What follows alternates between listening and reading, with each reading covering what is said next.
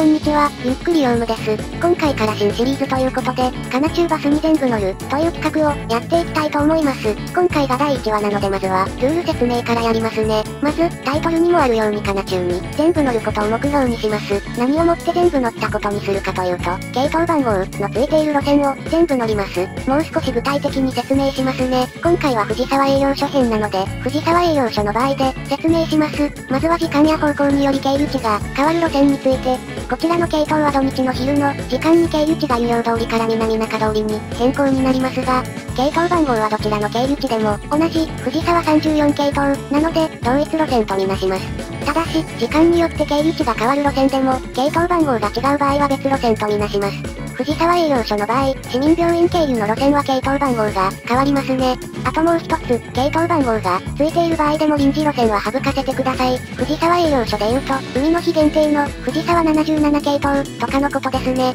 なるべく臨時路線も乗っていきたいんですが、どうしても乗れない日もあるのでそこは勘弁願います。初回なので説明が長くなりましたがいよいよ本編です。それでは最初の乗車場所の藤沢駅へ GO! ということでこのシリーズ一番最初の路線は藤沢駅一番乗り場から出る藤沢01系統新名町経由高山車庫駅です。では早速乗っていきたいと思います。このバスは駅を発車すると左に曲がり、こちらの交差点を右折せずにまっすぐ進みます。そこからは東海道線の線路の横津自動駅方面へ進みます。そして敷地川を渡ると右側に湘南モールフィルが見えてきます。モールフィルに行くためにこの路線を使ったことがある人も多いのではないでしょうか？モールフィルとソニーの間の道へ右折するとすぐに終点の高山車庫に到着です。これで1路線目乗車完了ですね。運転手さんありがとうございました。ってことで次の路線の乗り場まで行きましょう。次に乗るのも高山車庫が始発の路線なんですけど、乗り場が少し違う場所にあるのでそこまで歩きます。何か音がするな、と思って左を見てみたらちょうどバスが洗車中のところでしたね。高山車庫はかな中藤沢栄養所の車庫でかな中で唯一の2階建ての車庫ですね。という雑談をしていたら見えてきましたね。あの黄色いボールが、次に乗る路線のバス乗り場です。ってことで次に乗るバスは、藤沢02系統、神村経由藤沢駅行きです。発車時間ぴったりぐらいに、車庫からバスが出てきました。バスプールのない始発停留所では、長時間停車すると交通の流れを止めてしまうので、出発時間ギリギリに来る傾向があります。バスオタとしては来るタイミングを予想しやすいのでありがたいですが、この路線は出発するとまっすぐ進み高山の交差点で右折します。この道を車庫方面ではなく、辻堂駅方面に走る、藤沢03系統という路線もあるので、その時にまた紹介します。この系統はさっきの藤沢01系統の一本北側の道を走る感じの路線です。ただしバスの本数は向こうの路線の方が圧倒的に多いですけどね。そんな感じで相生町、三藤町と停車し終点の藤沢駅に到着です。次に乗車するバスは、藤沢06系統、長久保経由の辻堂駅行きです。こちらのバスは、藤沢04系統の延長版みたいな路線で、本数は平日のみの薬米寺1本って感じの路線です。藤沢04系統、は、辻堂団地まで行くのに、この路線は途中の浜宮山という場所で、右に曲がって、団地をスルーして辻堂駅まで行く路線です。綺麗な15分間隔のところに無理やり入るので、前後のバスの間隔が近く、比較的空いている路線だと思います。04系統の方は、江ノ電バスとの共同運行ですけど、こちらの系統は、かな中単独路線です。方向幕に共通定期取り扱いと書いてあったので、系統は違えど場所さえ同じならこの路線も使えるようです。この路線は北口からの発車ですが、路線は東海道線の南側を通るのでここで東海道線をまたぎます。線路の右にあった道路は一番最初の路線で通った道ですね。この後この路線は経由地の長久保通り、出口という名前のバス停を過ぎたら右に曲がって辻堂駅の方を目指していきます。駅南側の細い道を抜けるとこのバスの終点、辻堂駅南口に到着です。ということで辻堂駅に到着です。やっぱり辻堂の街はおしゃれですね。ここ辻堂はかな中の連接バスも乗り入れるのでバスを他視点から見てもポイントの高い街です。次に乗るバスは辻堂北口の一番乗り場から発車する赤羽駅です。この路線は藤沢営業所の路線で最も西まで行く路線です。ってことで早速乗っていきましょう。東京の赤羽と神奈川の赤羽は漢字が違うので注意です。あと、終点の赤羽は住宅街なので、飲み屋とかがありません。かな中がある場所の地名で、渋谷も新宿も原宿も、赤羽もあるので、もう神奈川県が東京で良くないですかね？さすがにダメですかね？今日紹介していない地名の場所も今後の動画で登場すると思うのでぜひお楽しみに。ということで、辻堂から北に進路を進めている都心湘南バイパスの効果が見えてきました。この路線のみここを左に曲がり赤羽を目指していきます。この辺のバスの多くは綾瀬医療所の路線ですが、この路線以外は直進して大場水道を進んでいきます。ここから終点まで高速の柱を縫うような細い道を走っていきます。この路線は電瓶中型車での運行ですが、中型車でもカーブスレスレなのでヒヤヒヤしながら乗っていました。路線図ではこの、辻道07系統、は、直線の走りやすい道みたいに表示されていますが、これは大嘘です。途中茅ヶ崎料金所の下や菱沼、少林のバス停を通過していき終点の赤羽に到着です。反対向きの道路がバイパス挟んだ反対側なので、ここは完全に降車場になっています。運転手さんありがとうございました。と言いつつ、もう挑戦でこの先に乗り継げないので、折り返しのバスで辻堂駅に帰ります。途中藤沢営業所の、本局んとすれ違って終点の、辻堂駅に到着です。そして次に乗るバスは、藤沢10系統、市民病院経由の、藤沢駅行きです。この路線は前に、カナ中が、吹っ切れた、で扱った路線ですね。市民病院の経由もありなしで、系統番号が変わるので、また乗ることになりそうですね。同じ乗り場からの出発なのでさっきの、路線とあまり出発の景色は変わりませんね。この路線は辻堂駅を出発すると、交差点を右折し藤沢駅に向けて走る路線です。途中の住宅前のバス停を出ると交差点を左に曲がります。まっすぐ進めば、藤沢02系統で紹介した高山のバス停まで行けます。この路線は市民病院経由なので、途中市民病院を経由して、終点の藤沢駅北口に到着しました。この先も乗り継いでいくので、バスを降りたら8番乗り場に移動です。ここの8番乗り場からは、小田急線沿いを走る路線の多くが発着します。今回は何行きに乗るのかというと、藤沢46系統、市民病院経由の全両駅行きです。どうしても晴れていて太陽が差し込んでいると方向幕が切れちゃいますね。この現象なんとかならないですかね？藤沢駅の8番乗り場の向かい側はタクシープールなので、タクシーがたくさん見えますね。この路線は出発すると仁王通り、市民病院を経由して、藤沢本町駅の最寄りである大町のバス停まで行きます。大町のバス停を出ると小田急への島線に、沿うように北上していきます。この辺はバスに乗りながら電車が通過するところを見れるのですが、今回はなぜか電車が1台も来ませんでした。この路線も市民病院の経由のありなしがあるので、次の機会の時に通過する電車を録画したいですね。途中の伊勢山入り口までは茨工業団地へ行く路線と同じ経路を走ります。目の前に見えているのは赤羽でも、三田新湘南バイパスの無料区間の藤沢バイパスです。バイパスの下をくぐると全両の名前が付くバス停を通って、回り込む形で全両駅に到着します。全両駅は意外と系統の数が多いのでこのシリーズでも何回か来ることになりそうです。次に乗るバスは、全両05系統、全量駅循環です。午前中の時間に乗ったので、先に全量坂を経由する路線です。それでは乗っていきましょう。全量駅を出発するとこの系統のみ、駅からまっすぐ伸びる道へ進んでいきます。他の路線だと右に見える道に曲がっていくので、この系統のみの貴重な体験だと言えます。今回初の循環系統ですが、次に乗りたいバスの待ち時間で循環できそうだったため乗りました。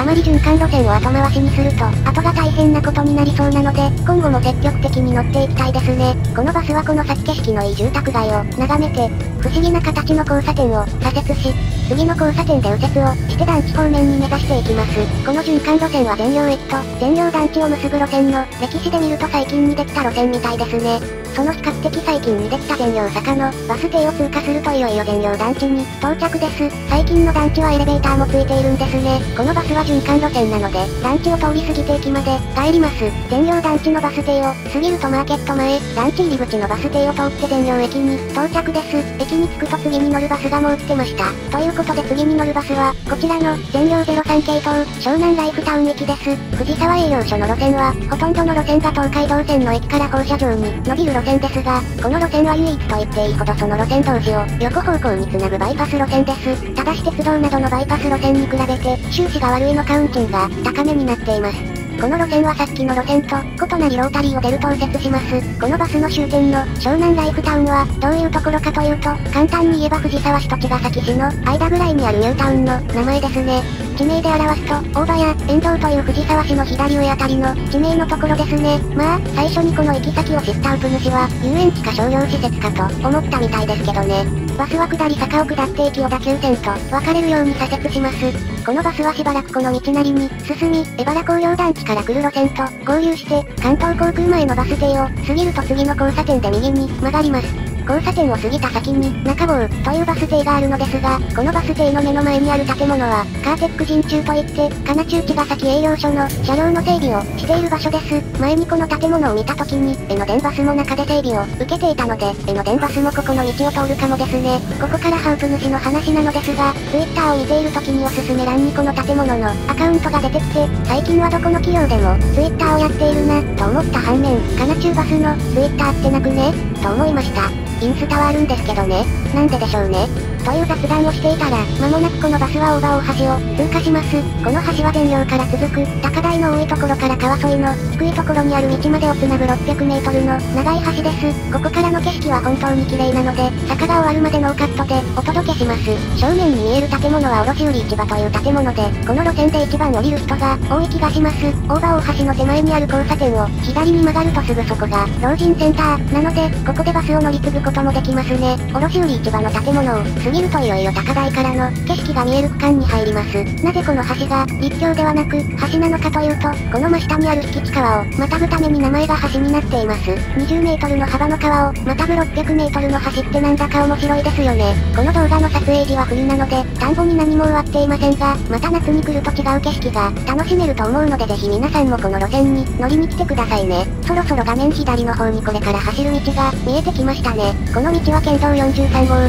藤沢厚木線といって、昔はこの道に沿うように、藤沢駅から本厚木駅を結ぶ路線もあったみたいですね。もしその路線が現役ならかな中の乗り継ぎルートも選択肢が広がったと思いますね。この道に入ると第6点、船地蔵、北野屋を通り、この路線のみしか通らない駒寄せ小学校前を通ると、この路線の経由地の駒寄せのバス停に着きます。このバス停の向かい側には、東急ストアがあり、個人的にはこの辺がライフタウンの中心かな。と思います。駒寄せのバス停を過ぎるとすぐに、終点の湘南ライフタウンに到着です。後から路線図を見て思ったのですがこの路線、めっちゃ遠回りすぎません。どうしてこんなに大きく回る路線になったんですかね？もしご存知の方がいればコメントくださると嬉しいです。ということで終点の湘南ライフタウンのバス停に到着しました。次に乗るバスまで時間があったので、近くのコンビニで昼食食べたり、連接バスを眺めたりして、時間を潰しました。この連接バスベンツの車両でわざわざ海を渡って日本までやってきたのですから驚きですよね。バスを眺めていたら、次に乗るバスがやってきました。次に乗る路線はこちらの、藤沢12系統、大場水道経由の藤沢駅行きです。こここの湘南ライフタウンを発着する路線は、綾瀬営業所が多い中、このバスは藤沢営業所の路線です。ライフタウンに八ヶ崎営業所の車両も乗り入れるので、まさにターミナルといった感じですね。後で路線図もお見せしますが、ライフタウンからだと辻堂駅が一番近い駅なので、始発付近からこの路線に乗る人はいなかったですね。今は閑散としているこのターミナルにも、ラッシュ時には連接バスもたくさん乗り入れるので、この地域の利用者は多そうです。ロータリーを出ると先ほども、通った駒寄せを通過し、小井と西高校前と進路を南へ進めていきます。途中の宇東のバス停を出ると長いトンネル区間に入ります。この上にはゴルフ場がありその下をくぐるようにトンネルで抜けていきます。下の道路を通る車の振動とかでゴルフに影響って出ないんですかね？トンネルを抜けるとその先の道をこのバスは直進していきます。トンネルと自動駅の田んぼで気がついた方もいると思いますが、この場所は動画の序盤で赤羽駅に乗った時に通った場所です。赤羽駅の時は辻堂からのバスでしたが、こちらは藤沢駅行きなのでこの先も路線は続きます。次の城南1丁目のバス停を過ぎると進路を東へ変え藤沢駅に向かっていきます。途中は院の工場があるメルシャン前や、引地橋、湘南高校と通過して、小田急線の上を越え、全両駅行きのバスで通った大町のバス停を通り、このバスは白旗交差点を右に曲がります。この道を通る路線に乗るのはこの路線が初めてですね。このバスは南中通り2丁目、南中通り、相生町と停車して、藤沢駅に到着です。ここでちょっとしたアクシデントが、このバスが南中通りでの渋滞のため10分遅れて、藤沢駅に到着。そのため次に乗り継ぐ予定のバスがちょうど行ってしまった後でした。ここを乗り継げないとこの先の予定も全て台無しになってしまう。そこでウプ主が取った行動は乗り継げないのなら先回りすればいいじゃない。ということで、次のバス停まで全力ダッシュです。この道を通るバスは渋滞により遅れることがほとんどなので、先回りをすることにしました。ということで次のバス停である、湯量通り4丁目に着きました。あ、最初のルール説明で言い忘れてましたが、全区間乗車でその路線を乗ったことにするので、この場合は未達成ということになります。今後もルールの追加や変更があるかもしれないので、概要欄にルールをまとめておきますね。自分がバス停に着いてから2分後ぐらいに来ましたね。時刻表上では2分ですが、実際は5分かかってきたので、皆さんも藤沢駅8番乗り場のバスを1分差で乗り遅れてしまった時は、試してみてはいかがでしょうか？この、藤沢51系統派有用通りや、市民病院を経由して、北へ進んでいきます。途中の藤沢商業高校前の、バス停を過ぎると右折して、旧道を走ります。後ろで流している動画は同区間を、右折する映像です。始発から乗れなかったので、席の関係で収録できる場所が、限られてました。この路線の素材が少なくてごめんなさい。ただし未達成扱いなので、今後もう一度この路線は乗りますけどね。バスはその後も旧道を、順調に進み、今田のバス停を過ぎると元走っていた道と、合流して湘南台駅に到着です。ということで、東口から西口に移動して、次に乗るバスを待ちます。湘南台駅は鉄道が走ってない西側のロータリーの方がバスが多い印象です。ということで、奥から次に乗るバスがやってきました。次の路線は、藤沢39系統、大辻経由藤沢駅行きです。この路線は深夜に途中の第6点止まりのバスがありますが、そちらと系統番号が一緒なのでこの場合この路線は乗ったことになります。駅を出るとこのバスは北警察署、南大山、遠藤と通過していき、遠藤のバス停を過ぎると、左に曲がり、秋葉台、遠藤松原を通り、湘南ライフタウンを経由します。湘南ライフタウンは、さっきも通りましたが、このバスはライフタウンを横方向に通過していく路線なので、ターミナルには入らず、道の横にあるポールに停車します。バス停の場所はこの先の、交差点の奥ですね。さっきはターミナルの全体像を映してなかったので、よくわからなかったと思いますが、この視点なら見やすいんではないでしょうか？ターミナルに入らない路線は慶応大学、綾瀬車庫へ向かう路線や、ライフタウン止まりのバスの一部などあるので、事前に乗り場を確認することをお勧めします。ちなみにここのローソンが自分がさっきお昼を食べたところです。ライフタウンのバス停は、この辺りの位置ですね。バスはこの先経由地の大辻を通過して、羽沢、小糸を通過して、船地蔵、第6点と、全量03系統で、通った経路を走り、明治小学校、羽鳥からは、藤沢12系統で、走った経路と同じ場所を走行します。メルャン、高校、大町、白畑交差点で右に曲がり、2丁目、中通り、相生町と通過して終点の、藤沢駅に到着です。この路線も、全量03系統以上に、遠回りをする路線ですよね。せっかく藤沢駅に戻ってきたので、今度は別方面に攻めていこうと思います。ということで次乗る路線は、大船33系統、関谷インター経由の大船駅行きです。この路線はターミナルを出ると、左に走ります。毎回その時の映像使ってますが、同じ映像使ってもバレないんじゃね？って思いました。大船駅は東の方向にあるので、今までの路線とは進路が変わってきます。相生町、南中通りを通ると藤沢小学校前、藤沢橋と東に進路を進めます。藤沢橋のバス停を出ると、原宿、戸塚駅方面の系統と分かれ右折します。ちなみにここ春領寺という名前の交差点です。その後神社前、公民館と通過すると、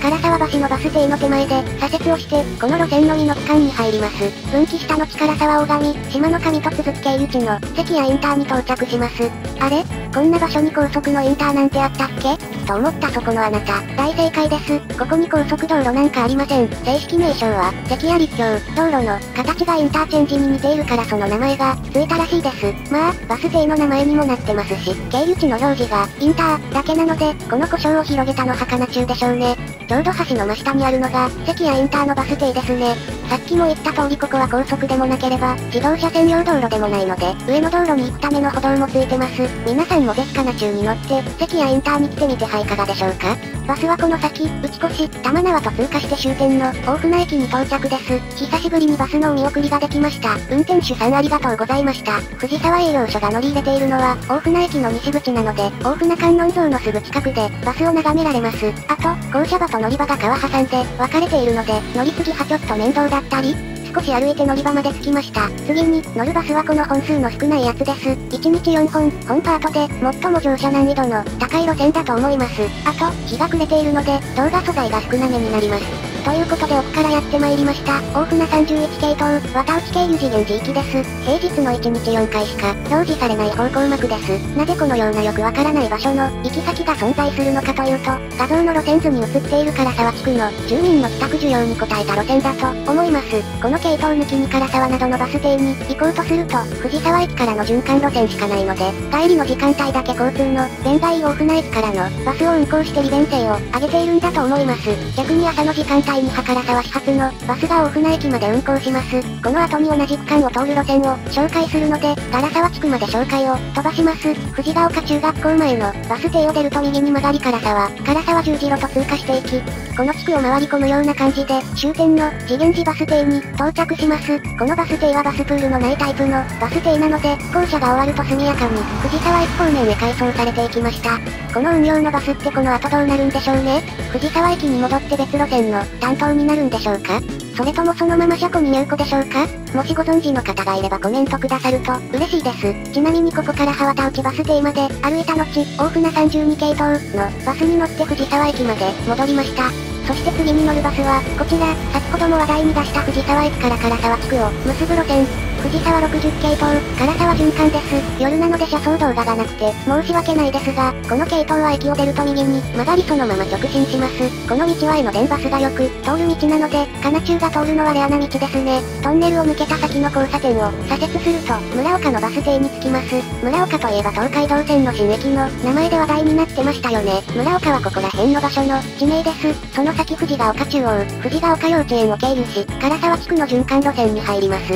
矢印などの記載はありませんが、この地区の路線は全て時計回りです。先ほども紹介した唐沢、次元寺を過ぎると中学校前に止まって、来た道を引き返していきます。この路線の豆知識を一つ、藤沢駅発車時点では方向幕の経由地が藤ヶ丘中央、唐沢なのに、藤沢駅到着時点では方向幕の経由地が藤ヶ丘中央、村岡に変わってるんですよ。何回か自分この路線乗ったことあるんですけど、この方向幕の間違い探しは最近まで見つけられませんでした。循環して戻ってきたので、次の路線に乗ります。次に乗る路線は、大船65系統、原宿、公文国際学園経由大船駅行きです。このバスは途中まで戸塚の、放映区路線と同じ経路を通るので、ご乗防止のためか、乗り場も戸塚駅方面の乗り場に止まります。朝は藤沢駅のみ、夜は大船駅のみという少し変わった運行形態の路線です。この路線は駅を出ると相生町、南中通り、藤沢橋と経由して、大船駅なのにここの交差点は直進します。この辺の説明は、次回以降の戸塚駅方面のバスに乗った時にしますね。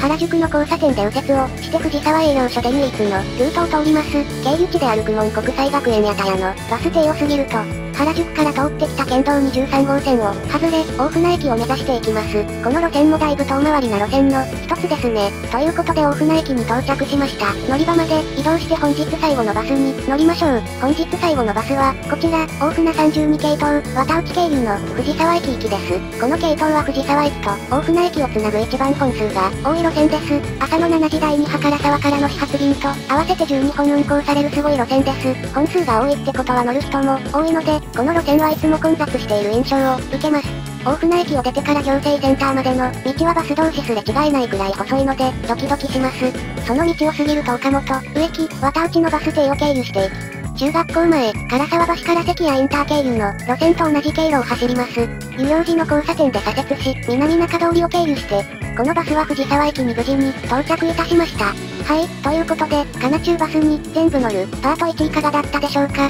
解説系の動画はほとんど出したことがないので、至らない点も多いかと思いますが、もしよければ次回以降のパートもぜひ見ていってくださいね。よければ動画の高評価、チャンネル登録、コメントぜひぜひお願いします。ウプ主の湘南急行は普段はオトマットやゲーム実況などを作っている人です。興味があれば他の動画もぜひ見に行ってくださいね。Twitter、Instagram もやっているので、フォローお願いします。ということで皆さん、最後までご視聴ありがとうございました。